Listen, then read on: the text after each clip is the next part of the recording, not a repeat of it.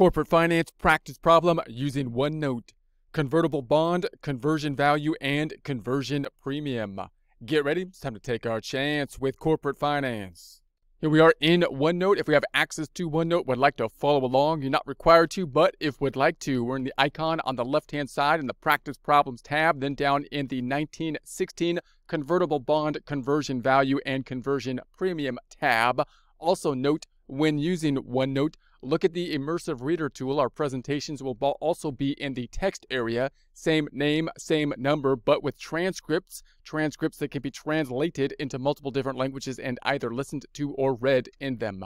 Closing the icon, we have our information up top, calculations on down below, looking at convertible bonds, those being bonds with the option to convert to common stock. So the information we have is the convertible bonds outstanding have a par value of $1,000. They can convert into shares. We're going to say 40 shares. So they can convert the bond into 40 shares of stock. If they so choose, they have the option but not requirement to do so. The common stock market price is going to be 34, so the stock that the bonds could convert to is currently selling for, in other words, the $34. The convertible bond market price, meaning the price that the actual convertible bond is selling for, the bond with that convertible feature on it is selling for at a premium of the $1,400. So we're going to look at the conversion value of the bond, the conversion premium, and conversion price, starting off with a conversion value calculated as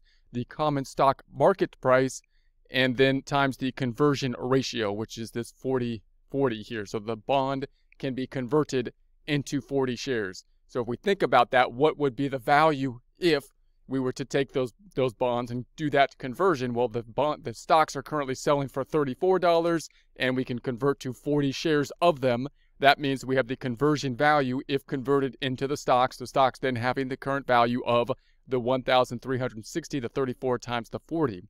The conversion premium then can be calculated at the convertible bond market price. That's the price that the bonds are selling for that have that conversion feature added to it, minus the conversion value of the bond, which we just calculated. In other words, if we were to say purchase the convertible bonds at the current market price of $1,400, convert them into stocks where the current stock value is at 34, then we would have 1,360 worth of stock, which means that uh, we have a difference then of $40. So we would have basically overpaid by basically the $40. So in that case, you might be asking, well, why then would you want the convertible bonds? If you if you want to convert them, then you're going to convert them. Why not just buy these stocks? Note that the convertible bonds give you as the investor the benefit of, of course, having the bonds there, which would pay you the interest and the principal at the end, at the par value at the end, just like a normal bond, but also gives you the option to convert. And if at a later point in time the price goes up, then you might take advantage of the conversion option to convert to the stock and then do whatever you want with the stock. It could be a beneficial choice in that case. And if the stock price doesn't go up to make that a beneficial option or it goes down or something like that, you still have the benefit of having the bond in that case, even though you're not exercising the conversion feature. So why would the corporation then issue a bond like this? The corporation may be able to benefit from issuing a bond like this because the conversion feature has value in and of itself because it gives the investor access to the upside, the increase in the in the potential stock price, but also have the bond there in case things don't go up. And so that added security means that uh, it's more valuable to the investor. So the bonds might be able to be issued then at a lower interest rate. So they might have to be, the, the issuer gets the benefit possibly of issuing the bond at a lower interest rate, getting capital at less of a of a cost in terms of interest rate in that case.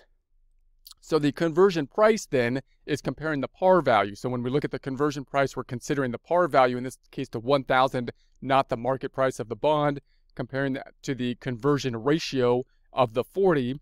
So the 1,000 divided by the 40 gives us the 25 for the conversion price. Let's take a look at it again. New, scenario, new set of numbers here, similar kind of scenario. Convertible bond outstanding has a par value of 1,000 you can convert into shares 25 shares. So the one bond now can be converted into 25 shares of the common stock. It has that convertible feature. Common stock market price, what the common stock that we can convert the bonds into are currently selling for $35. The convertible bond market price, the price of the bond if you were to buy the bond with the conversion feature, 910. Now note that that 910 is is now selling at a discount, so the bond itself is selling for less than the par value, so the bond is selling at a discount. That's one of the kind of differences between this and the prior uh, example. So the conversion value of the bond then is going to be the common stock market price, the 35 times the conversion ratio, meaning the number of shares we can convert the bond into. So if we take the bond, convert it into the common stock, then we'd have 25 stocks worth a market value of 35. In this example, that would give us 875. The conversion premium then would be the convertible bond market price. It's currently selling for 910 compared to the conversion value, the 870 75. So in other words, if I was to buy the convertible bond for the current market price that it's going for, paying 910, and then simply convert them to common stocks at this point in time, we would then convert them and have common stocks valued at 875, meaning I would have basically kind of overpaid by the $35. So that means, of course, we probably wouldn't exercise the conversion point at that point. We would hold on to them, possibly looking for the market price to increase. And if they did, the conversion option then would be a beneficial option. If they do not, then the conversion option basically becomes kind of irrelevant and it acts in essence like a bond at that point. The conversion price then is going to be the comparison of the par value, the $1,000, and the conversion ratio of 25, giving us that conversion price of the $40.